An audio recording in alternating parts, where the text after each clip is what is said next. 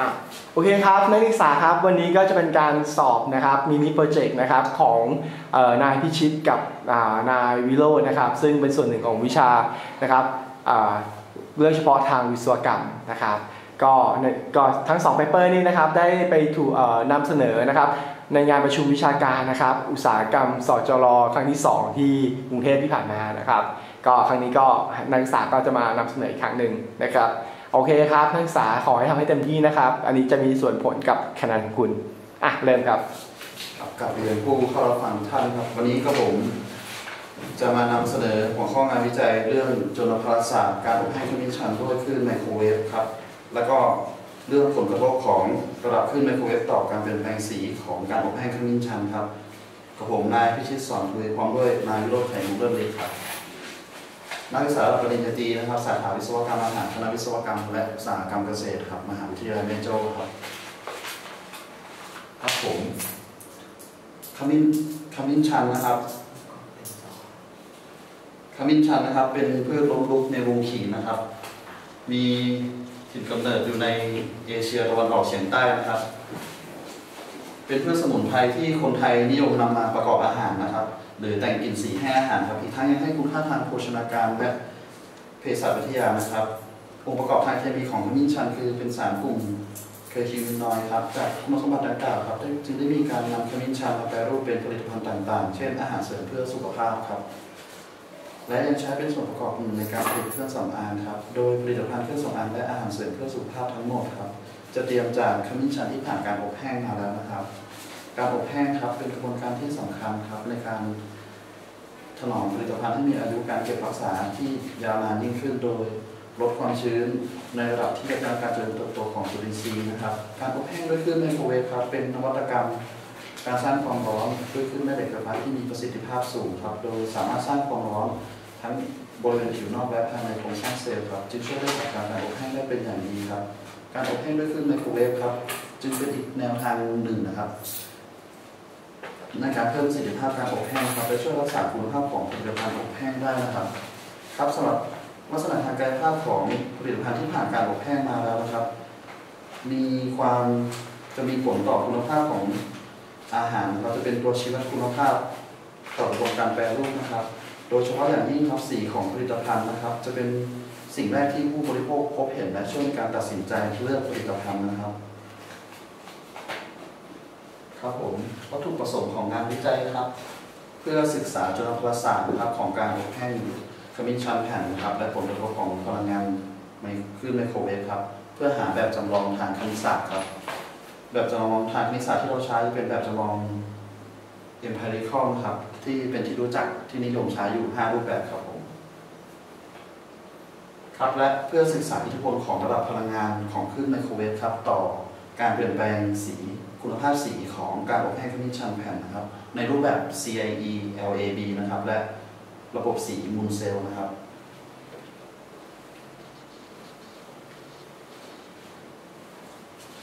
กลไกการเกิดความร้อนของคลื่นไมโครเวฟนะครับ กลไกการเกิดความร้อนของคลื่นไมโครเวฟนะครับ จะเป็นกลไก คลื่นแม่เหล็กไฟฟ้านะครับ เพื่อไปกระตุ้นมวลโมเลกุลของน้ำครับทำให้มวลโมเลกุลของน้ำหมุนนะครับและทำให้เกิดการเปลี่ยนสีกันครับ จนเกิดเป็นความร้อนขึ้นครับหลักการพื้นฐานของการอบแห้งด้วยคลื่นไมโครเวฟนะครับ โดยในการอบแห้งโดยทั่วไปนะครับ จะเป็นแบบ hot air นะครับ โดยจะเป็นความร้อนจากภายในนะครับ เข้าสู่ภายนอกครับ ส่วนไมโครเวฟนี่จะเป็น การเกิดความร้อนจากภายนอกภายในนะครับ ออกสู่ภายนอกนะครับ กลไกการเกิดความกลไกการอบแห้งนะครับ ของไมโครเวฟนี่ครับการประกอบไปด้วยการถ่ายเทมวลสารนะครับ แล้วก็ในระหว่างการอบแห้งนะครับ โดยกลไกนี้ครับจะเกิดขึ้นโดยการพานะครับ จากรูปนะครับเราจะเห็นว่า เส้นป่านะครับคือผิวของอาหารนะครับ แล้วก็ตามลูกศรนี้เป็นการเคลื่อนที่ของของมวลของน้ำนะครับ จากภายในนะครับ ออกสู่ภายนอกนะครับ จากนั้นเราจะ โดยการอบแห้งครับ เรามีแบ่งออกเป็น 3 ช่วงนะครับ โดยช่วงที่1นะครับ heating up นะครับเป็นช่วงการอบแห้งสั้นๆนะครับ เพื่อปรับอุณหภูมิ ของผิวหน้าของอาหารให้เท่ากับอากาศนะครับ จากนั้นเข้าสู่ช่วงที่ 2 นะครับคอนคอนแทน Constant rate คอนเทนเลทครับ โดยช่วงนี้เป็นการเปลี่ยนแปลงเป็นกลไกการเกิดความร้อนโดยการพานะครับ โดยกลไกการเกิดความร้อนนี้เป็น การระเหยของของของไอน้ำครับจาก ภายในออกสู่ภายนอกครับ กลไกนี้เป็น เป็นการแพร่เป็นการแพร่คงที่นะครับ จากนั้นเราจะเข้าสู่ fairing rate นะครับ โดยช่วงนี้เป็นการเราจะเปรียบเทียบอัตราการระเหยนะครับ กับฟังก์ชันกับ การระเหยนะครับ เราจะมองเป็นฟังก์ชันลดนะครับ โดยระยะนี้นะครับ การเกิด การเกิด การอบแห้งนะครับจะเป็นการจะนำน้ำนะครับด้วยส่วนหนึ่งนะครับทำให้เป็นไอนะครับ วิธีการหาความชื้นนะครับ เราจะมีโดยทั่วไปหาโดย 2 วิธีนะครับ โดยวิธีมาตรฐานเปียกแล้วก็หาความชื้นฐานแห้งนะครับ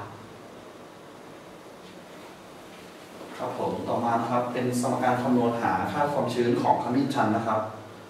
โดยเมื่อเราได้ค่าความชื้นณเวลาใดๆแล้วครับ เราจะนำมาคำนวณอัตราส่วนความชื้นของการอบแห้งนะครับ โดยสมการนี้นะครับ ค่าความชื้นสมดุลจะมีค่าเท่ากับศูนย์นะครับ เนื่องจากงานวิจัยของเรานะครับ ใช้ขึ้นใช้ขึ้นไมโครเวฟนะครับ โดยขึ้นไมโครเวฟจะเป็นขึ้นขึ้นแม่เหล็กไฟฟ้าที่ให้ความร้อนสูง ความชื้นสมดุลจะกลายเป็นศูนย์นะครับ ครับผมสำหรับแบบจำลองทางคณิตศาสตร์นะครับ จะแบ่งออกเป็น 3 ชนิดนะครับ ก็ได้แก่ แบบจำลองทางทฤษฎี แบบจำลองกึ่งทฤษฎี แล้วก็แบบจำลองแบบ empirical นะครับงานวิจัยของเราใช้แบบจำลองเลือกใช้แบบจำลองแบบ empirical นะครับ ครับผมเมื่อ เมื่อเราศึกษาแบบจำลองแบบเป็น empirical นะครับ เราจะใช้สมการนี้นะครับ เพื่อช่วยในการเลือกนะครับว่าแบบจำลองไหนเหมาะสมที่สุดนะในการ อบแห้งในครั้งนี้นะครับ โดยจะได้ค่า r square หรือค่าสัมประสิทธิ์การตัดสินใจสูงสุดนะครับ จะได้ค่าสูงสุดครับค่าและก็ค่า chi square และค่า root mean square error จะได้ค่าต่ำสุดนะครับครับผมสำหรับเครื่องที่เครื่องไมโครเวฟที่เราใช้นะครับถูกถูกพัฒนาขึ้นโดยสาขาวิศวกรรมอาหารนะครับ มหาวิทยาลัยแม่โจ้นะครับ ครับผมวิธีการหาความชื้น มาตรฐาน AOAC ครับ เริ่มจากเตรียมขมิ้นชันนะครับนำไปเก็บไว้ที่อุณหภูมิ 4 องศาครับ เพื่อปรับเพื่อให้ขมิ้นชันปรับสู่สภาวะสมดุลนะครับ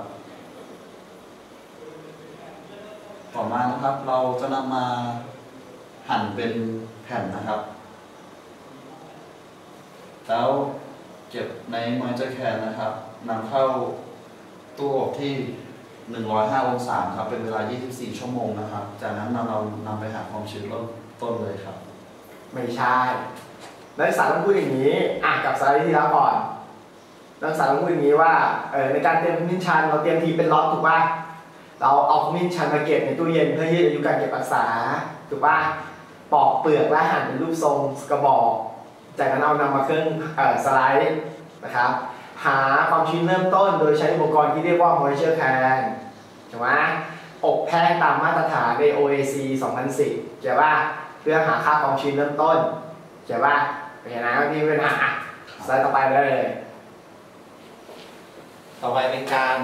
อบแห้งครับ เราจะนำขมิ้นชันครับมาปอกเปลือกนะครับ แล้วก็นำมาล้างครับ จากนั้นเราจะนำขมิ้นชันมาหั่นเป็นแว่นนะครับ จากนั้นเราก็มาชั่งน้ำหนักตาชั่งหนักนี่เราจะชั่งน้ำหนักที่ 50 กรัมร้อยแล้วก็150 กรัมนะครับจากนั้นก็มาอบที่อุณหภูมิเอ้ยที่ความเข้ม 465 วัตต์ แล้วก็ 752 วัตต์แล้วก็ แล้วก็ 164 วัตต์ครับ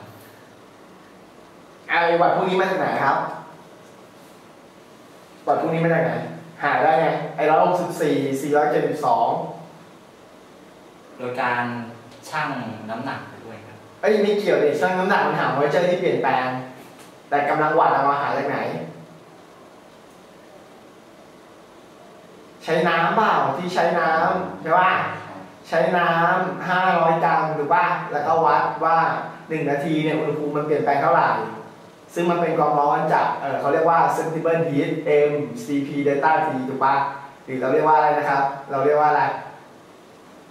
ความร้อนในการเปลี่ยนแปลงอุณหภูมิถูกป่ะโดยใช้น้ำเป็นตัวดูดซับเออก็ต้องบอกอย่างนี้ถูกป่ะโอเคอะต่อไปต่อไปได้เลยอะจากนั้นเขาอ่านเขาเป็นว่าสีเครื่องวัดสีครับ spectrophometer นะครับสเปกโตโฟโตมิเตอร์สเปกโตรโฟโตรโฟมิเตอร์นะครับ สเปกโตสเปกโฟโตโตมิเตอร์โฟโตมิเตอร์ครับ โอเค วัดวัดยังไงวัดวัดตอนเปลี่ยนหรือวัดตอนเปลี่ยนหรือตอนแห้ง ตอนอบแห้งแล้วคอ่ารับเอาแห้งแล้วเอามาอ่าความชื้นเปรีสุยดบเทียบท้ายเท่าไหร่ความชื้นสุดท้ายประมาณประมาณนี้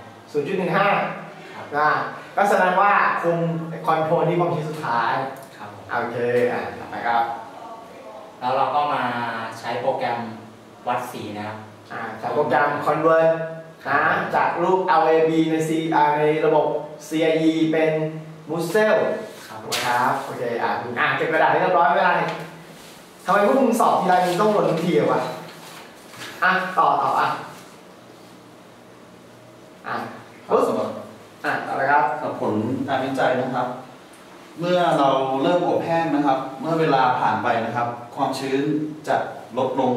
ความชื้นของผลิตภัณฑ์จะลดลงเรื่อยๆนะครับ โดยที่ระดับพลังงานคลื่นไมโครเวฟ164 700 752 วัตต์นะครับ จะใช้เวลาที่ 8 นาทีนะครับ พลังงานระดับพลังงานคลื่นไมโครเวฟ465 วัตต์จะใช้เวลาที่ 14 นาทีนะครับ และที่ระดับพลังงาน 164 วัตต์จะใช้เวลาที่ 53.1อืมนาทีนะครับ แสดงว่า 752 วัตต์เนี่ยใช้ 8 นาที ครับ แต่165 วัตต์ใช้ 53 นาทีโหกี่เท่าเนี่ย 53หาร8ได้กี่นาทีประมาณแปดครับวัน8เท่าฮะ8 8 64 7ฮะโอ้หาเนี่ยยังคิดไม่ได้ไม่ได้จบวิศวะอยู่แล้วนะอ่าแสดงว่าอะไรเกิดขึ้นครับ แสดงว่าอ่าและขนาดที่165กับ752มันเป็นกี่เท่าครับประมาณสอง3เท่าวะสามอ๋เท่า ออ่าสามเท่าแปลว่าใช้พลังงานเป็นไงครับ เพิ่มขึ้น 3 เท่า แต่สามารถประหยัดเวลาในการอบแห้งได้กี่เท่า 7 เท่า ถูกป่ะ เออถูกไหมดังนั้นถ้าเกิดพูดในแง่ของ efficiency หรือประสิทธิภาพการอบแห้งเนี่ยว่ายิ่งสูงมันยิ่งดีครับอ่าถูกป่ะอ่าเดี๋ยวต้องมาดูคุณภาพต่อไปคือเรามาดูว่าแล้วสีดำเป็นยังไง ใช่ไหมครับ อ่าโอเคต่อครับสำหรับ ค่าคงที่ของแบบจำลองครับเราหามาได้นะครับ ตามที่สมการที่ได้กล่าวไปแล้วนะครับ คือเราจะเลือกที่แบบจำลองของเพจนะครับ เราจะได้ค่าสมมติการตัดสินใจสูงที่สุดนะครับ คือจากช่วง 0.9991 ถึง 0.9944 ขออภัยครับ 0.9944 ถึง 0.9991 นะครับ แล้วก็ค่า chi square กับค่า root mean square error นะครับ จะมีค่าต่ำที่สุดนะครับ เพราะฉะนั้นแล้วแบบจำลองของเพจนะครับ จะเหมาะแก่การอบแห้งนะคอ่ารับมันเปรียบเทียบกับแบบจำลองที่เราเปรียบเทียบถูกไหมครับ อ่าที่ประเด็นต่อมาประเด็นต่อมาโซก๊อฟใช้วิธีไหนในการวิเคราะห์ค่าพารามิเตอร์ครับ ใช้โปรแกรมอะไร ใช้โปรแกรม Minitab ครับ Minitab คำสั่งอะไร non linear non ดีๆครับ non linear อะไรบอกให้เติมๆนั้นไม่ให้เอนะ non linear อะไร non linear regression ถูกป่ะครับอย่าลืมนะโซก๊อฟต้องสอบอีกนะ โดนคำถามแน่ใช่ไม่ใช่บอกว่าใช้มินิแท็บถูกป่ะเอ่อมินิแท็บโดยวิธีการ non-linear regression ในการหาค่าคงที่ต่างๆ ที่เกิดขึ้นครับอ่าและค่า r square chi square หรือ mean square โซก๊อฟหาจากไหนคำนวณครับจากคำสนวมณกาจากรนะครับสมการโดยใช้โปรแกรม Excel เออแค่นั้นแหละพูดให้มันเป็นสัดเป็นส่วน ค่าคงที่มาจากการใช้ มินิแท็บโดยโปรแกรมเอ่อโดยคำสั่งที่เรียกว่า non-linear regression จากนั้นเอามาทำนายแล้วก็คำนวณตามสมการถูกป่ะโดยใช้ Excel คำนวณเข้าป่ะอะโอเคอะต่อครับเราต้องบอกที่มาอย่างชัดเจนก็พูดคร่าวๆพูดกว้างๆแต่จากเท่าที่พูดนี่มันไม่ชัดอะต่อครับ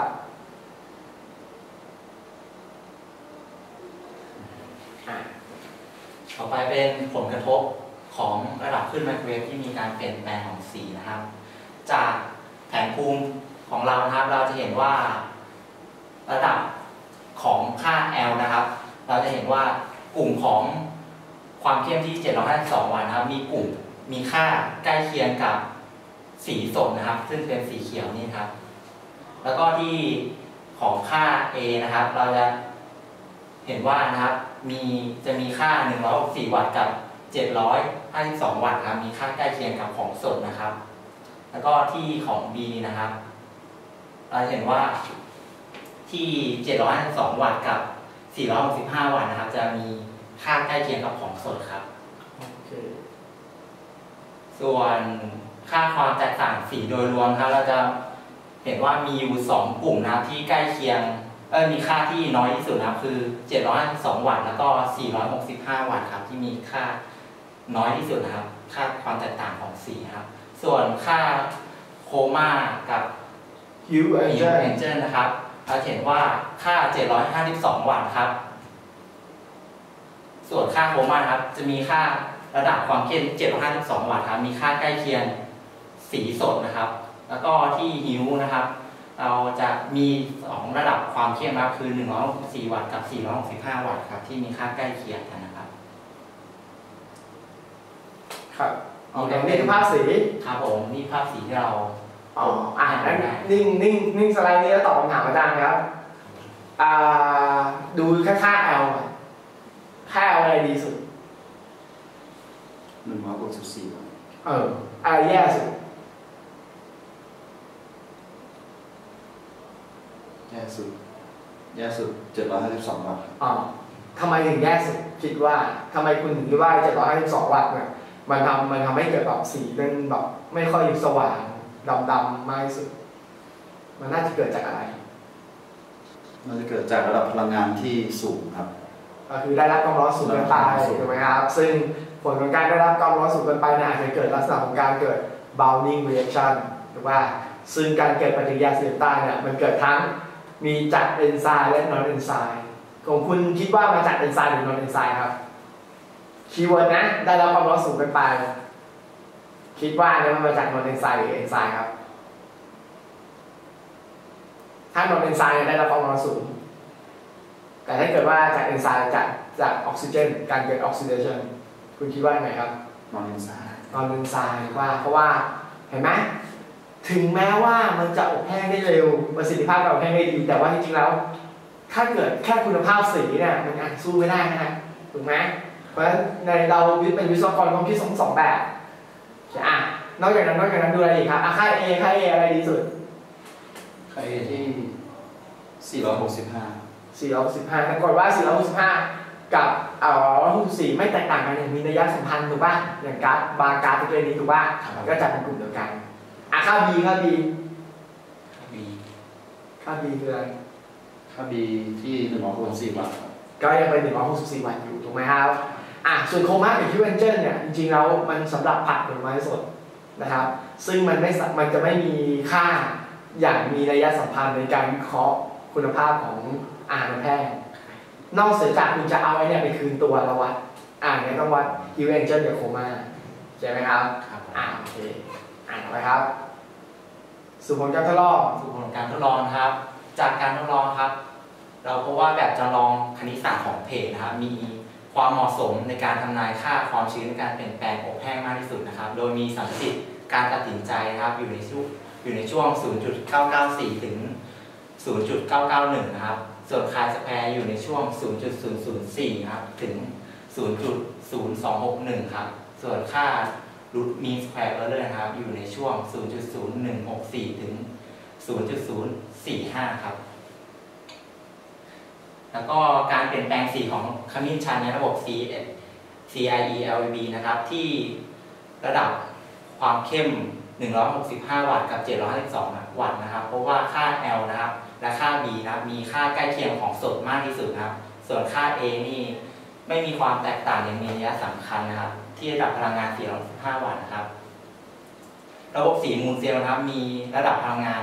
164วัตต์ แล้วก็ 465 วัตต์นะครับ จะมีค่าสีสันแล้วก็ค่าความสดครับใกล้เคียง แล้วก็ไม่มีความแตกต่างยังมีระยะสองที่ระดับความเชื่อมั่น 95%ครับ อ่าโอเค เพราะฉะนั้นตอนนี้อ่าโอ้โหจบลูกกันนะได้เถื่อนถอยและต้อยต่ำมาก อะสิ่งสิ่งที่ก๊อฟกับโซก๊อฟได้ในการทำ mini project ครั้งนี้คืออะไรครับหนึ่งเข้าใจ concept ของการวิเคราะห์การอบแห้งเนาะซึ่งมันก็มี basic แบบ เป็นเหมือนแพ็กเกจอะเออหาแบบจำลองในคณิตศาสตร์ที่เหมาะสมเนาะในวิธี linear regression เนาะหรือวิธีปรับโค้งเนาะจากนั้นก็เอามาวิเคราะห์คุณภาพสีอะสมมติสมมติอาจารย์บอกว่าจะมีคนมาทำต่อโซกับก๊อฟโซกับก๊อฟอยากให้เขาทำมีข้อเสนอแนะในการทำวิจัยตรงนี้ยังไงบ้างครับ อยากให้เขาทำอะไรต่อ ศึกษาสารสารสารที่มีอยู่ในขมิ้น อาจจะศึกษาเชิงลึก chemical analysis นะว่าสารที่ให้สีส้มแดงเนี่ยเนาะซึ่งถ้าเกิดอาจารย์จำไม่ผิดน่าจะเรียก kerluminoid content เนาะซึ่งเป็นอนุมูลอย่างหนึ่งของ flavonoid เนาะว่าเฮ้ยมันมีการสลายตัวไหมหรือว่าเพราะตอนนี้เราคิดมันเป็น mini project เราเลยคิด property แค่ยังไงครับ แค่หนึ่งหนึ่ง part พอถูกไหมครับโอเคเนาะอะคำถามสุดท้ายก่อนที่จะจบโซลกอฟต้องตอบจริงนะครับขอความจริงเลย ในการเรียนวิชานี้คุณได้อะไรบ้างครับทีละคนอะอาจารย์รออาจารย์เท่อะไรเงี้ยก็ได้หมดอะไรเงี้ยได้ใกล้ชิดคนดังอะไรนะได้ฝึกใช้ห้องแลบทำห้องแลบด้วยตัวเองครับได้ศึกศึกษาเกี่ยวกับการอบแห้งแล้วก็แต่ได้ข่าวว่ามึงทำห้องแลบเบลอนะ ไอชิดหมาเอาไม่ใช่อะโอเคก็คือได้ฝึกทักษะการทำวิจัยเนาะแม้แต่เป็นโปรเจกต์เล็กๆก็ตามถูกไหมครับ แล้วก็ภูมิใจในผลงานตัวเองไหมที่ได้ตีพิมพ์อ๋ออะก๊อฟก๊อฟก๊อฟนี่ทำงานน้อยกว่าไอโซเยอะเลยเขาก็คล้ายๆกับโซนะครับ แต่ก็ได้รู้วิธีการคิดนะครับ ในการอบแห้งว่ามีหลักการ ทำอะไรอย่างนี้บ้างอ่ามีสเต็ปขั้นตอนของการทำเนาะอ่าโอเคงั้นปีหน้าอาจารย์จะให้คนปีหน้าวิชานี้จะเปิดปีละครั้งปีหน้าอาจารย์จะให้คนทำต่อจากโซกอฟโซกอฟมีข้อแนะนำว่าเอ่ออาจารย์ครับงานเราลองศึกษาเกี่ยวกับเรื่องของสารประกอบที่สำคัญเนาะว่าเป็นยังไงใช่ไหมนี่คือสิ่งที่คุณต้องการโอเคครับโอเค ก็การสอบออรอบพิเศษนี้ก็จบแค่นี้ครับขอบคุณครับ